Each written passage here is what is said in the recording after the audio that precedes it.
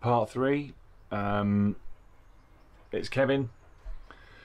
We'll have a look at um, bits I've done around um, flooring, ceiling, walls, etc. Um, just tell you the problems I came across. Uh, see if it's of any use to you if you try to do something similar. Okay. So as you can see, there's the extension. I've still not got around to putting the extra uh, paneling, uh, just covering up that bit. Um, and then this is actually aluminium uh, sheeting. There's a lot of debate about uh, what was the right thickness to make sure that this was pretty sturdy uh, to be able to walk on.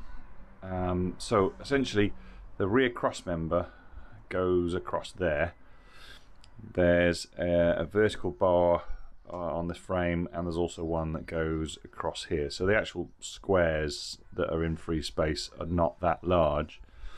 Um, I went with um, 3 mil and it's you know it's really rigid. You can jump up and down it doesn't make any difference. Um, it was impossible to get it in in one piece so I had to cut it up. That is um, some of the bar that used to go along here that held the bottom of the, the thing in. Uh, I used a wire uh, brush on the grinder to take all the paint off and that screws in between the two plates holding it down. The whole point is that in about two years or so, um, uh, I'm told the cross member may need changing. So I need to make sure that this is uh, something I can pick up uh, without too much fuss to get to the bolts which are here, here and here uh, to help get that um, get that uh, cross member off. Um, James tells me that he can get it off. I believe him. And a lot of others have said you've got to lift the whole body off, but he says no. He's done lots of them on other Land Rovers and he had a look and said he could do it. So we'll see in a couple of years' time. That'll be an interesting video. Um, to see whether that turned out to be true. So I looked at lots of different ways of getting these panels in and I didn't want tons and tons of rivets going all the way around the edge. I wanted something a bit cleaner and I found these.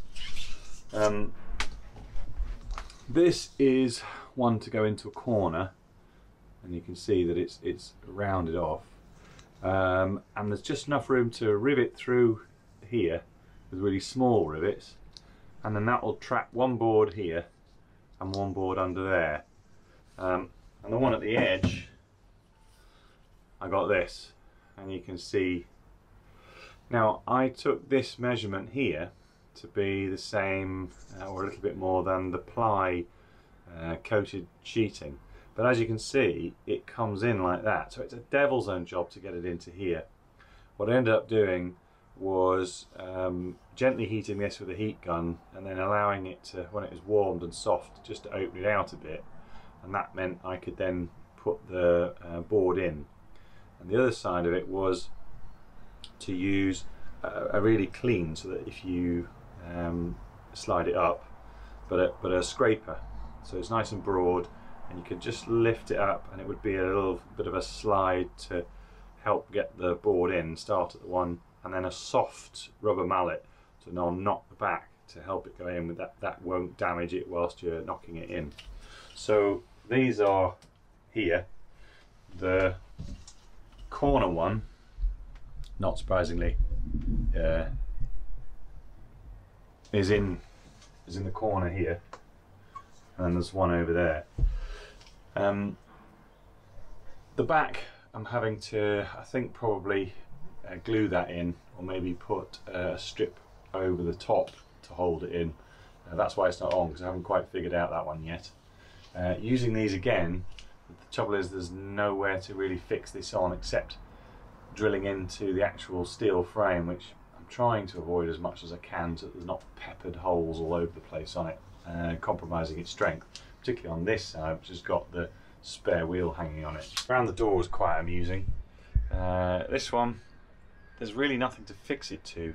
I should have let it come just a tiny bit longer and then I could fix it to the actual frame just on the inside but I didn't and it's far too late to be taking it out so I've got uh, some adhesive flex and sealant to go up behind there um, on here, um, it, on this door frame, if it's just at the outside edge, it's outside of the seal and everything, the door still closes, um, and then it's riveted towards the top. Some of the, the old um, down beam was still quite chunky, so I actually had to cut some off and fold it over.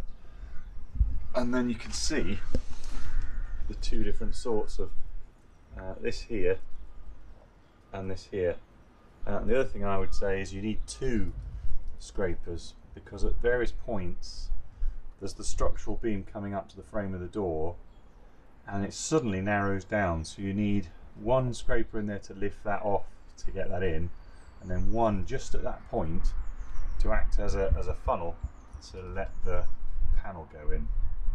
So these are the original window surrounds and um, I sanded them uh, just to rough them up a bit and then used uh, smooth white hammerite. I didn't go for the gloss because I think uh, the slight dents and warps on it would show up much more and actually it looks pretty good um, next to the uh, white um, uh, coated um, Vellingham ply uh, I think it's 3 mil.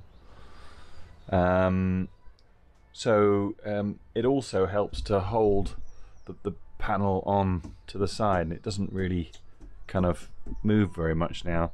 There's a little bit at the bottom but that's going to be taken up when I put the uh, furniture board coming up to it.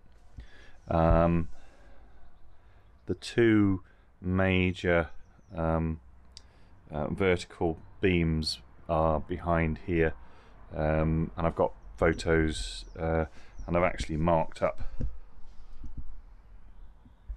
on the edge of the um, rail at the bottom where they are. Um, so the thing I found was finding this hole for the um, um, desiccator to go in was a bit of a pain um, and a, the first one I did on the back door I used a, a corer that was too big because that looked to be the same size as this hole but uh, use the smaller one that's the same size as the inner hole and then I'm going to use a small grinder to, to open it out so that the thing fits in. Now the reason why these have got screws in rather than rivets um, because I didn't number the plates around the side and I didn't so that they don't necessarily go back to the window they came from. So when you drill um, these holes you sometimes find an old rivet hole, uh, a screw hole, and sometimes you don't. So the screws, these are big, quite big screws behind, they'll bite into the hole and go really well. Whereas um, on, on the, the other back door, um, you can actually use rivets. And once I started using the screws, I thought it looked uh, better. So I, um, I did it um, just with screws. I looked at various different methods of actually um, putting a ceiling in. Um, what I settled on in the end was tongue and groove, um, dyed uh, darker uh, to sort of match the um, furniture board. So there's um, silent coat behind this, then that's a padded foil. These are is actually um, adhesive thermal wrap for hot water pipes, but it's to try and stop it being a thermal bridge um, uh, on the ceiling, and I've done the same here. Um, you can see it running along the frame uh, there too. Um, that's the same insulation um, over the top, um, and uh, there's also obviously the, the uh, locker doors uh, underneath there um, giving more. The only uh, uh, insulation, the only bit is, is sort of around the wheel arch here and there. I'll just need to put a bit of insulation on the inside of that. Floor, I think I'm going to put some um, thin ply just to make it flush here. Um, the air heat is going to go through there. I've already uh, looked around all over the place to try and find a good place for the um, the flute is going to go that way to go next to the exhaust and the clean air is going to go that way um, to keep the two separate. Um, and it's just outside the frame, um, but well inside um, the wheel.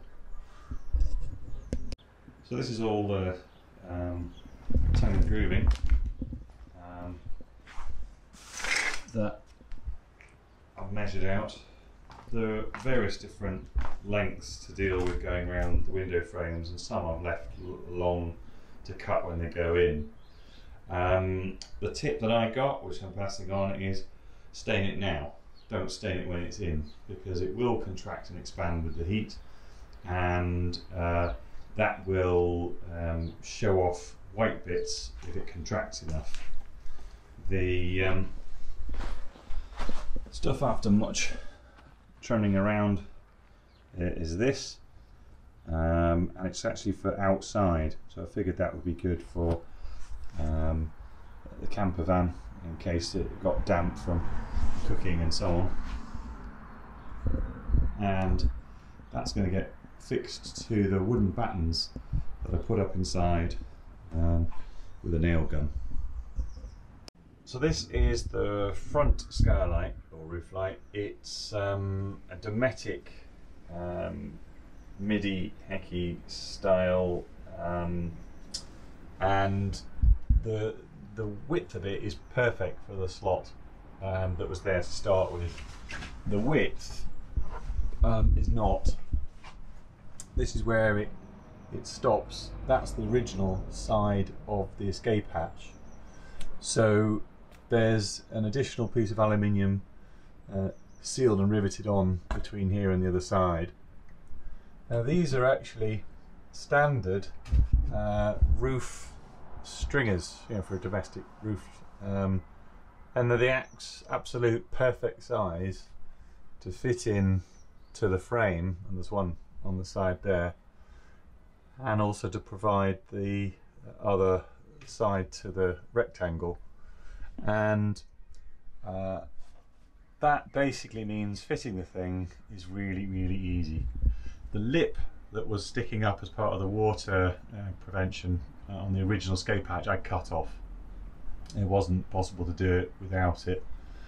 And then these things um, I put a clamp on here to keep it from popping over the edge then put the screws in then clamped it down and did that for each of them as it went on. It was really, really easy. And there's actually a surround with a fly screen and a um, an outside screen. And there's a deeper one which you need uh, for this because of the thickness of the wall. The one that comes as standard would sort of stop there. So it's got a bigger tongue on the inside to overlap. Um, and these are different for the thicker uh, walls. You, you, order a set of those. Um, now the same uh, MIDI is this is this is the smaller version. And you'd think that the fixation is exactly the same. And it bloody well isn't. Uh, it's a completely different way of fixing them on. Again these are standard roof stringers um, and it's the perfect size. They're also um, treated so they, they shouldn't rot. Um, and I just cut a hole in the extension and it's I, I, it wasn't by accident but it, it fits inside the, the square of the frame that was made um, but uh, yeah they, they go on quite differently um, but they, they open and make sure you get them around the right way. If you get them around the wrong way, they open facing forward. So if you accidentally leave it open a bit when you're driving along, you'll rip it off. So just make sure they're facing backwards. Um, but they're really good. You can lock them open just slightly. Um, there's a really good opening on them.